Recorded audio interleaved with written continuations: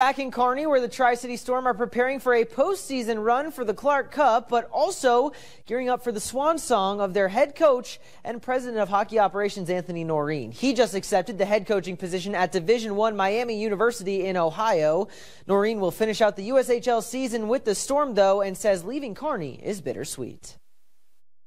This has become home for me the last seven years, especially this rink and sitting here and and these guys, it's it's going to be hard. It's a winning organization. It's an organization you want your son to be. It's an organization you want to take players from, and, and it's way bigger than me. It's way bigger than any one of these players, and it's going to last for a long time past me. What's needed to be successful and the identity um, is set up here, and, and it's it's going to keep going. I have no doubt about that. Noreen has impacted hundreds of boys who have come through the Storm program, and they're hoping to give back to him by winning the franchise's first Clark Cup since 2016.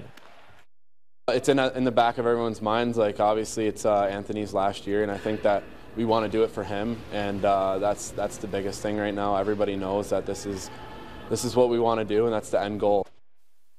Noreen has delivered two Anderson Cups to Kearney during his tenure, but the Clark Cup remains elusive. But Miami University is already feeling the impact of Noreen's hire. Tri-City Storm defenseman Sean McKeown committed to the Redhawks on Tuesday. He's appeared in 56 games this season, his third year with the Storm, and tallied two goals to go with 14 assists.